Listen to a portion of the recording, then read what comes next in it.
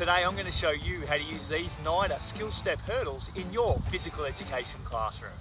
You can use different height NYDA skill step hurdles for different locomotor or plyometric skills. For example, you could use the 15 centimetre hurdles for hopping, 30 centimetres for jumping, and 50 centimetres for striding.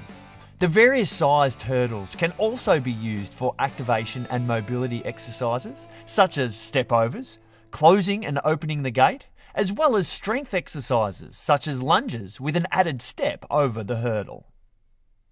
The NYDA skill step hurdles are also a fantastic addition to any fitness rotations in your health and physical education lessons.